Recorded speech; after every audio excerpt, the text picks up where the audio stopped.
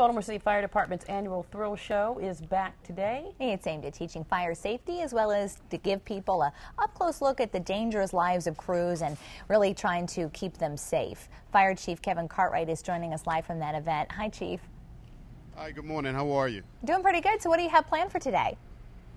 Yes, what we have planned uh, in conjunction with the Maryland Association for Justice is our annual thrill show, which we've been hosting for more than 50 years. We're going to have a number of displays set up.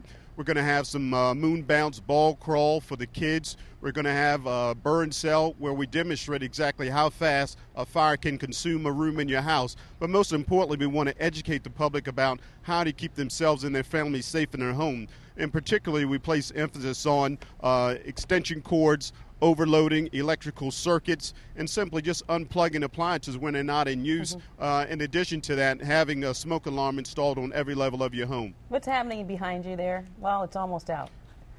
Absolutely, yeah. It's uh, automobile fire, which our firefighters encounter every once in a while, and this is going to be another one of the demonstrations that they perform uh, for people to get a bird's eye view and close-up encounter to see exactly what our firefighters and paramedics do every day. Do you find that this really inspires kids who come out to maybe seek a life as a firefighter when they grow up? Absolutely. Um, a lot of people that follow the fire department um, over their youth and uh, adult career have always wanted to be firefighters when uh, they grow up, and they particularly turn out to be some of the best firefighters. One of the scary things that you talked about, we've had some really tragic situations in the last um, couple of weeks. Uh, and the latest, we've had these Molotov cocktails being thrown into people's homes. You were trying to explain to people that, that you know, a fire can start so quickly. So as if people came out to this, they would get an up close look at how serious something like that is and maybe the things that they need to do if a situation arises.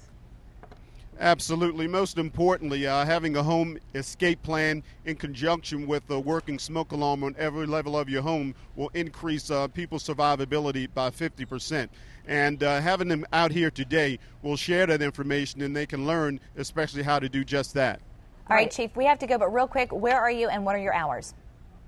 Yes, uh, I'm here at the Baltimore City Fire Academy, located at 6720 Pulaski Highway, Northeast Baltimore, and the event begins at 11 o'clock and will run through 4 p.m. today. Excellent. Thank you so much for joining us this morning. Sounds like a fun time. Thanks, Chief. Wish you could be here. us too. well, from the